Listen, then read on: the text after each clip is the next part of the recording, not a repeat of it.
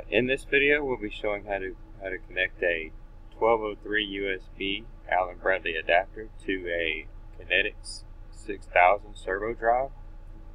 And we will do, be doing this by showing the how to set up the driver and RS Links and use the adapter and go through uh, drive tools and drive executive. So without further ado we'll go ahead and get started. And we'll click, click on our RS Link, Linx Classic this is uh, using a Windows 7 uh, operating system. And it's using a 1203 USB uh, firmware 1.004. Now in RSLinx you want to go to configure drivers, open that up, go to available driver types, you want to select the RS232 DF1 devices click add new. Then click OK. This should pop up the configuration for that driver. At this point you want to change it from device change the device to uh, or from PLC channel 0 to a scan port. You want to also change the baud rate. So change the baud rate from its default of 19 uh, 200 to 11 5200 and right now we will not set up our COM port. You can but uh, I would recommend first and foremost you go ahead and use uh, your device manager. So let's do that first. So right now we'll click this is, is fully set up. Your driver should pop up. And then we'll come to device manager. In your PC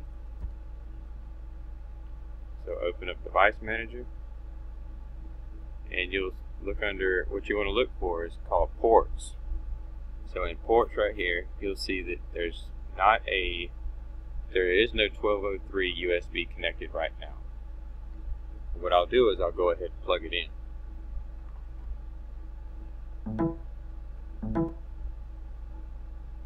Okay, so with it plugged in, you see now it has the Allen Bradley 1203 USB.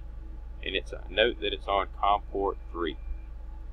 So now that we know what, what port it's on, we come back to RSLinx, configure the, the same driver we just got to uh, adding, change the COM port to COM 3. Uh, you do not want to use the auto config, not for this anyway because it's a scan port. Click OK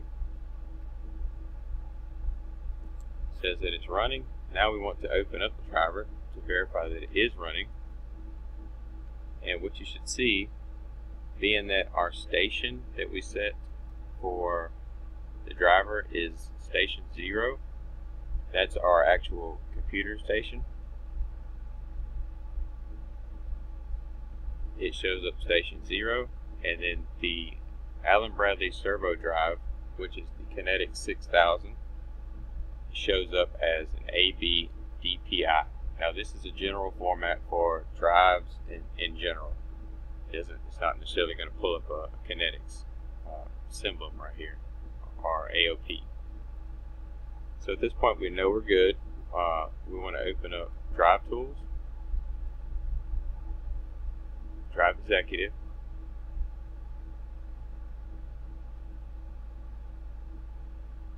And when Drive Executive opens up, you can click right here, which is Connect to Drive, or you can go to Drive and then Connect to Drive. It's really all your preference. Okay, and it should pull up your RSLinx. If it doesn't, if it pulls up RSLinx and it shows um, the driver doesn't show up or doesn't show up automatically, just simply auto auto browse it and you'll see it. So right now we want to we want to click that same servo drive, that AB DPI.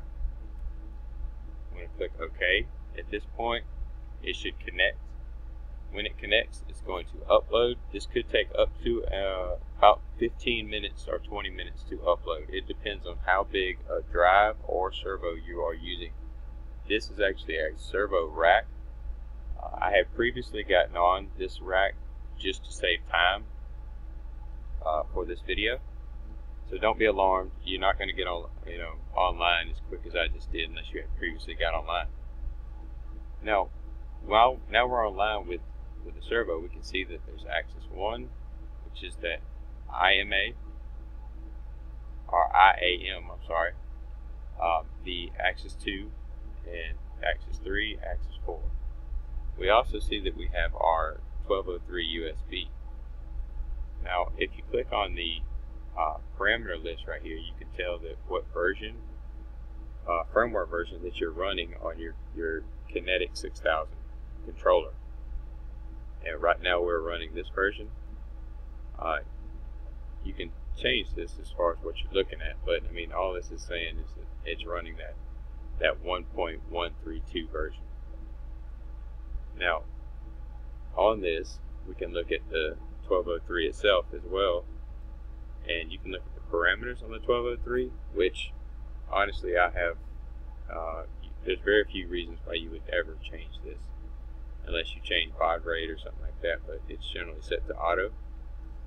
But what I want to point out is you, if you right click and you go down to properties, you can look at exactly what uh, firmware revision of this you're using. And you can also come back into component details and look at a little, little deeper than that. Uh, what you can do is save this to a, uh, C, a CSV file, which is basically uh, something you, you know, an Excel spreadsheet, or you can uh, flash to update. Now, if you flash to update, uh, click on the 1203 USB and it should pull up the if you have these uh, you already have pre-installed the firmware flashes and you can choose and, and flash the, the 1203 USB the current one that's uh, the latest one that's out on the, the, revision right now on the Rockwell website is 1.004 so that is what we are currently using, so we're not going to flash it. I just wanted to show that you could flash it from here. Now we want to go back up to the, the servo drive itself. You can do the same thing from this point. Go to right click and properties. And then at that point, you're going to see what the servo, the servo drive's uh, firmware revision. You're going to see uh, different attributes of it. Now, if you click the component details, you can look at exactly what each axis is doing. Uh, the boot code firmware, you can look at the, the product code revision, uh, which is your, your firmware revision. Um, you can come in and, and, look at the same things, uh, you know, on all, all of the servos that are on that rack. Uh, you, you can easily uh, save this to a CSV if you wanted to. Um, now, again, I'm not going to uh, go through that, but it, all it does is show the same details that you showed right here. Uh, you can flash, but what, what you will find is that it will not find the flashes. Um, the best way to flash this is to go into parameter list and I actually I want to say it's in in the uh, IAM and go to configuration and access to flash. So you can select and deselect which axis you want to flash when you're when you're doing this, and then you want to actually flash. If, if you're going through a, a 1203 USB, you want to flash through a, a hyper terminal. You do not want to flash through the drive tools or Drive Executive, you want to flash through Hyperterminal, which is uh, something we can cover on another, another video. But real quick, I just wanted to highlight the fact of where you need to change this, and as far as that goes, um, you know what uh, what you need to do to flash it, and that way you can control, you know, which axis are. If you want to do all of them, you can do all of them. But I suggest doing one at a time, just for uh, precautions. Another thing you would I, I kind of want to bring out is this uh, parameter right here on the parameter list. It's 952. This will answer a lot of questions that a lot of people have as far as can you throw a Kinetic 6000 into demo mode. Um, and what demo mode does is it allows you to run a servo at a derated voltage. So say you have a 480 volt servo controller, you can put it in demo mode like I currently have right now. I currently have it in demo mode. You can change that to demo mode, cycle the power, bring it back up. Uh, when you power it back on, you should see that it, this uh, parameter 952 has changed to demo mode. When it has, you can power up the power uh, 120 through the servo valve or through the servo controller and run actually run the servo motor. And what this does is it allows you to have parameters such as uh, your bus voltage uh, present or, or, your bus voltage um, active. There's a couple bits in there that, that are in the attributes of the servo that you just you would not get if you did not have this set. So if you're trying to run something as a, a permanent um, solution, then you, you, need to have this. And you can put it in, in normal mode, but again, just like I just put it in, it's not going to take effect unless I cycle the power of the Kinetic 6000.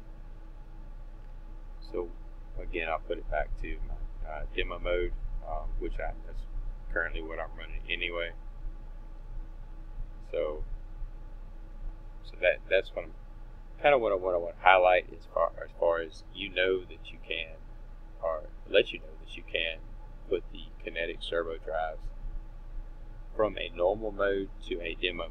Now Rockwell ships these servo controller drives, these uh, Kinetic 6000s, as as they're shipped. They're as demo mode being in normal mode. Normal mode means that you should be you should apply the correct voltage you should try to run the servo at the correct voltage and everything is in, in normal operation. So if it's a 480, you power it with 480. If it's 230, you power it with 230. In demo mode, you can derate that power to 110 and you can still run the motor. Now what that what it does is actually takes the servo and runs it at uh, it loses somewhat of its efficiency. So if you're trying to tune the servo or you're trying to do something like that, that's, that's probably not recommended. Um, it, it's just the fact that if you wanted to have a, a, a test or something of, of some program or, or, something you're trying to do, trying to do or, or actually show, this is the it gives you the ability to do so. Okay, so uh, real quick, I just want to wrap this up. That was how to set up a uh, set up the driver, how to connect through Drive Executive to a Kinetic 6000 using a 1203 USB, which is uh, also known as the uh, Anaconda uh, SAL uh, connection, being that the way you know it looks. So hopefully that was helpful, and if you if you need any, if you have any questions, just feel free to leave a comment you know, I'll get back to you, or if you'd like to see more of this, uh, or different angles of this, maybe a hyperface or something like that, just uh, again, leave me a comment, subscribe, uh, give me a thumbs up, and uh, appreciate your time. Thank you.